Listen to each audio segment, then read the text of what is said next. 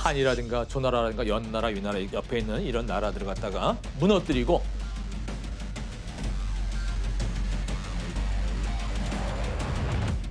초나라를 어, 치기 위해서 이제 준비를 하고 있었어요. 그래. 초나라 세 초나라가 좀 크죠. 네, 엄청 크네요 거기. 천하를 통일하고 못하고는 바로 이 싸움에 아, 달려있다고 할 정도로 초나라는 강했고 또 진시황제는 여러 장군들을 모아서 군사가 얼마나 필요한지를 의논을 합니다. 그때 젊은 장군과 나이 많은 장군 두 사람이 나와요. 젊은 장군은 20만이면 충분해 라고 주장했어요. 노 장군은 20만 부족해. 한 60만은 자, 진시황은 먼저 젊은 장군한테 20만을 줍니다. 실패했어요. 실패하고 돌아왔습니다. 그 다음에 노 장군 말을 듣는 거죠. 아, 이건 아니, 아니구나. 60만을 딱 줍니다. 근데 60만을 줬는데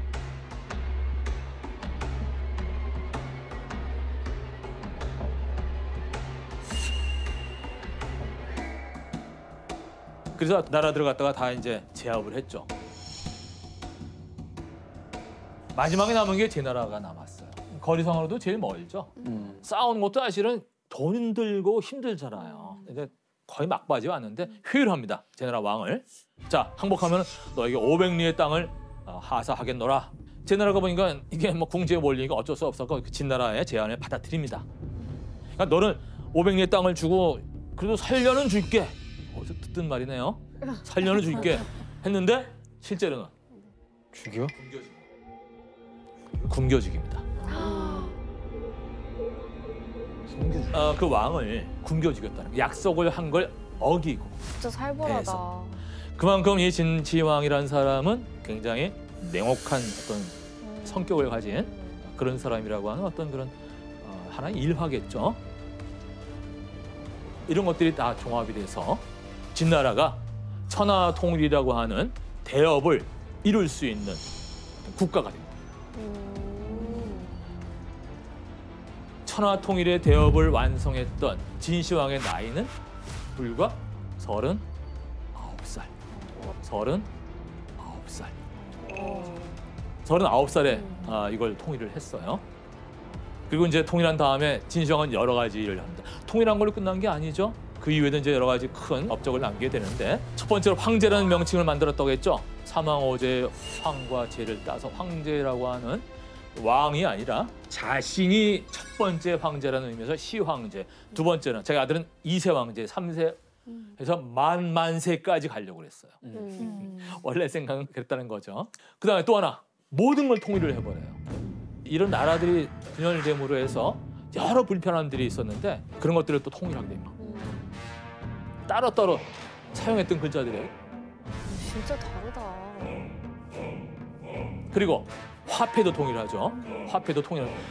뭐 당연한 얘기지만 나라마다 다 다른 자기들 나름대로 화폐를 썼겠죠. 그런 것들 다 통일을 하고 도로 같은 것들도 마찬가지예요. 도로. 이것은 황제의 명령을 신속하게 전달하고 지방에서 반란이 일어나더라도 재빠르게 그걸 진압하기 위해서였다고 하죠. 또한 이 사람은 여행을 참 많이. 그러니까 아, 그 여행이 아니라 이제 황제가 다니면 시찰이 되는 거죠. 한 번 떠나면 한 1년 정도 걸릴 정도로 어, 그런 것들을 한 다섯 번 정도를 했다고 이야기하는데 지금으로 말하면 워크홀릭이에요. 어. 어, 일벌레. 자, 여기서 하나 문제를 제가, 제가 내겠습니다. 음. 진시 황제는 하루에 일정한 업무량을 정해서 어, 모든 나랏일을 갖다가 스스로 처리하려고 했다고 하는데요. 진시 황제는 하루 업무량을 어떻게 정했을까요? 하루 업무량은? 업무량. 나라는 스스로 좀. 음. 정답. 너무 단순한 해 떨어지면.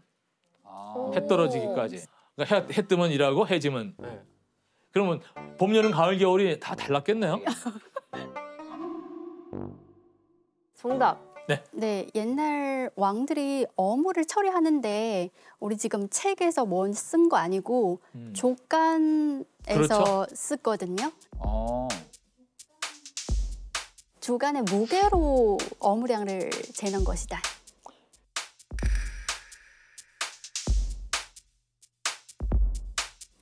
정답! 맞습니다. 정답입니다. 네.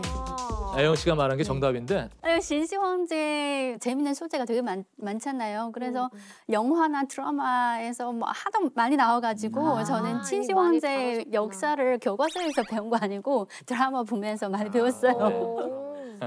그러면은 종이를 쓰기 전에는 뭘 썼을까? 어디다가 글자를 썼을까요? 서판인가요? 서판. 서판. 나무를 평평하게 만들어서 그냥 나무가 아니고 대나무를 왜냐하면 대나무가 변형이 좀 덜 덜 되죠.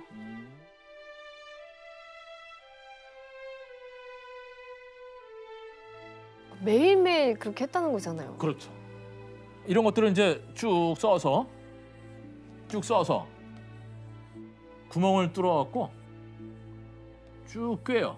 그럼 이게 책이 되는 거예요. 아. 이, 이 자체가 여러분들 혹시 한자로 책하면 이게 책이죠? 네. 한자로. 바로 이 죽가는 모양을 딴 거예요. 아.